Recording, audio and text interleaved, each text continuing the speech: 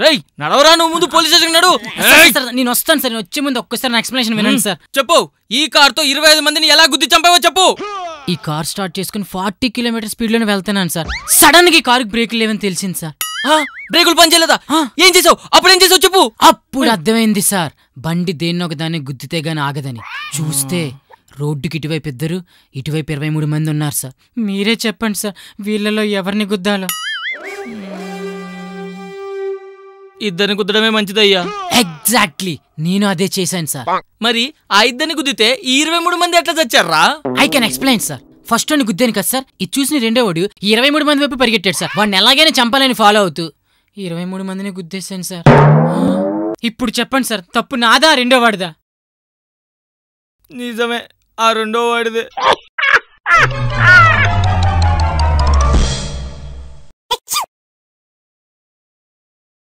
Office నుంచి వచ్చేటప్పుడు పిల్లడికి డైపర్లు రేపు చట్నీలోకి టమాటాలు కుదిరితే బెండకాయలు ఒక కిలో చికెన్. ఛీ! ఎదవనస ఎప్పుడు అవి తీసుకురా అవి తీసుకురా అని చెప్పడం తప్పితే వేరే పని పట్టలేదు. అసలు రిప్లై ఇవ్వకుండా ఉంటే చూడలేదు అనుకుంటది. మళ్ళీ ఏం మెసేజ్ చేసిందో? అన్నట్టు ప్రియా మెసేజ్ చేసిందా? ప్రియా ఎవరు? ప్రియా ఎవరబ్బా? ప్రియా ఎవరే? ప్రియా అని ఎవరు లేరు కానీ సెకండ్ మెసేజ్కి రిప్లై ఇచ్చావంటే ఫస్ట్ మెసేజ్ ఖచ్చితంగా చూసుంటావు. నోరు మూసుకొని కూరగాయలు తెచ్చేయి.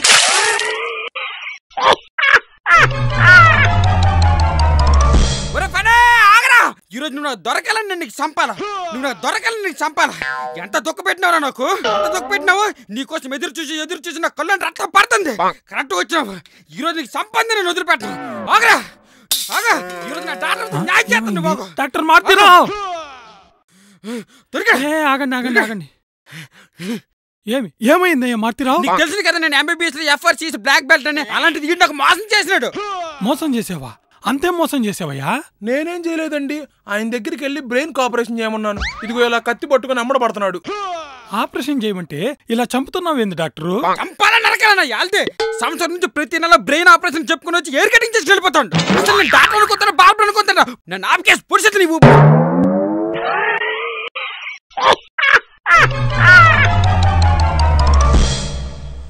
హే వాట్సాప్ బెండకాయలు.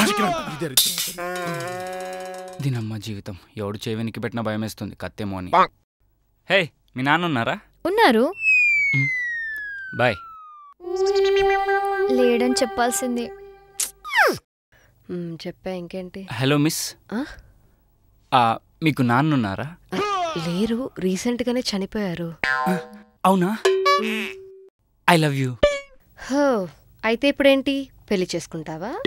అబే లేదండి. జస్ట్ లవ్ అంతే. సిగ్గు లేదు పెళ్ళి చేసుకునే ఉద్దేశం లేనప్పుడు మా అమ్మాయిల వెనకాల ఎందుకు పడతారా మీ అబ్బాయిలు? అంటే రోడ్డు మీద మనం బండేసుకుని వెళ్ళేటప్పుడు చాలా కుక్కలు మరుగుతూ వెంటపడతాయి కదండి. అంత మాత్రాన వాటికి డ్రైవ్ చేయాలని ఉంటుందా ఏంటి? ఉండదుగా. ఇది అంతే.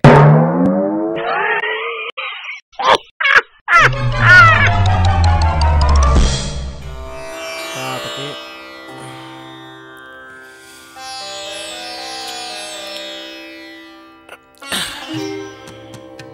ఒక్క శాపనాన్న పట్టుకోవాలి. ఆ, ఒక్కటన దొరకట్లేదే. ఆ, ఎక్స్క్యూజ్ మీ మాస్టర్ ఆ, ఏం చేస్తున్నావు ఇక్కడ? కళ్ళు కనపడతలేవా? చేపలు పడుతున్నా. ఆ? వాష్ బేసిన్లో చేపలు పట్టడం ఏంది? నాకు నచ్చిన చోట పట్టుకుంటారా? నీకేం నొప్పిరా? నీకేం నొప్పిరా? ఈ, అవ్వ, ఒక్కటన పట్టుకోవాలి.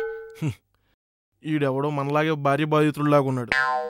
వీడిని డిసప్పాయింట్ చేయకూడదు. ఓదారుద్దాం. ఆ తమ్ముడు!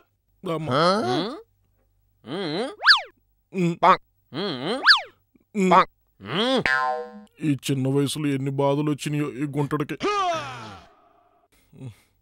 అమ్మ బంగారం వాడి లోపలికి వెళ్ళి లోపల ఉన్న బాధంతా బయటికి పంపించే అమ్మ. Cool drink? రా. రే అన్నావా? రా అన్నా. వీడికి నాకంటే ఎక్కువ కష్టాలు ఉన్నట్టున్నాయి దింపకుండా తాగేస్తున్నాడు. మందెక్కినట్టుంది. ఆట పట్టిద్దాం. ఆ, పొద్దున్నుంచి ఎన్ని చేపలు పట్టావు? ఆ? నీతో కలిపి ఎనిమిది.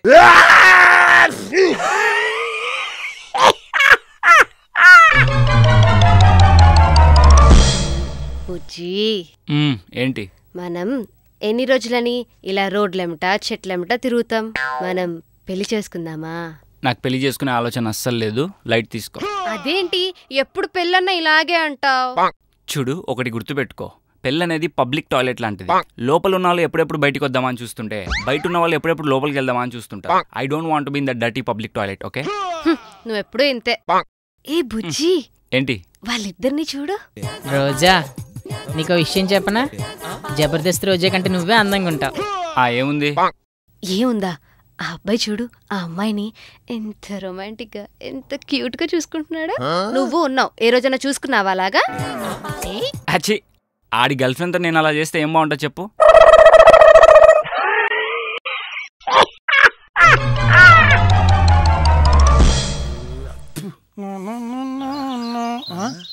ఎరమలిగా తెగాలు ఇచ్చేస్తున్నావు ఏమీ లేదురా. డాడీ వచ్చారు మంచి రోజులు వచ్చి అన్నారు. కానీ ఇక్కడేమో పెట్రోల్ రేట్లు పక్కింటోడు పగమల్లే తెగ పెరిగిపోతున్నాయిరా. రే అవి మంచి రోజులు కాదురా. మంచి రోజులు వాళ్ళ అమ్మ మొగుడు. అదేంట్రా సామిగా అంత మాట అన్నావు? నీకు అర్థమయ్యేలా చెప్తాను. ఇప్పుడు పెట్రోల్ రేట్ వంద అయిందనుకో మనలాంటి వాళ్ళు బళ్ళు తోలుతారా? బండ్లు పక్కన పారదబ్బి బస్సుల్లో తిరుగుతారు. ఆ అప్పుడు ఏటయిద్ది? పొల్యూషన్ తగ్గి డాడీ గారు ఎట్టిన స్వచ్ఛ భారత్ కళ నిజమైద్ది.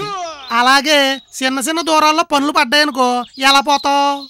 ఏం చేస్తాం? దేవుడు ఇచ్చిన కాళ్ళు ఉన్నాయి నడుచుకుంటూ వెళ్తాం. కదా? అప్పుడు ఆరోగ్యం ఆరోగ్యంగా ఉంటది. సడన్గా ఏ ఆయుష్మాన్ భారత్ ఇట్టాడనుకో ఇట్ అయిపోద్ది. డ్రంక్ అండ్ డ్రైవ్ బాధ అసలే ఉండదు. ఒకవేళ పిల్లలతో షాపింగ్కి వెళ్ళామనుకో బస్సుల్లో పోతాం కదా? అక్కడ ఇక్కడ తిరగలేక ఒకే షాపులోకి వెళ్తారు. కావాల్సింది కొనుక్కొచ్చేస్తారు. ఇప్పుడు చెప్పరా మళ్ళీగా ఈ మంచి రోజులే కాదా? అవునరా సాంబిగా.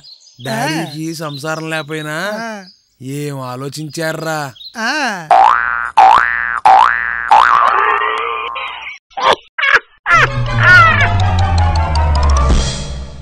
ఏమైతుందో ఏమో చాలా టెన్షన్గా ఉంది.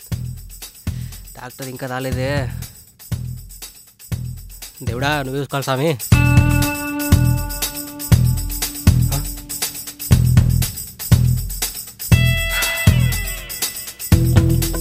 సారీ మిస్టర్ రవి ఎంత ప్రయత్నించినా మీ కూతుర్ని కాపాడలేకపోయాను. Doctor!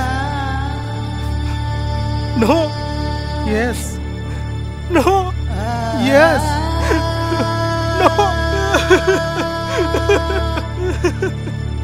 అరే! నా కూతురు లేని జీవితం నాకొద్దు నేను చచ్చిపోతా. నా కూతురు లేని జీవితం నాకొద్దు నాకు? నాకు అసలు కూతురు లేదు కదా? ఓదని నాకు అసలు పెళ్ళే కాలే. నేను అసలు రవినే కాదు. ఓదే డాక్టర్. అరే. Sir, sir, sir, sir, sir. ఏంటయ్యా? గొప్ప పొరపాటు జరిపింది సార్. జరిగితే జరిగింది కానీ నువ్వు కూల్గా చెప్పు. మీరు అనుకున్నట్లు అతను రవి కాదు sir Hari. Only body checkup కోసం వచ్చినాడు అంతే? ఓదే డాక్టర్ ఎంత పని చేసావురా ఓ సారీ బ్రో. మీరు హరి కాదు రవి అనుకుని వాళ్ళ కూతురు చనిపోయిన విషయం మీకు చెప్పాను. I'm really very sorry by the way me reports వచ్చాయి. You are perfectly all right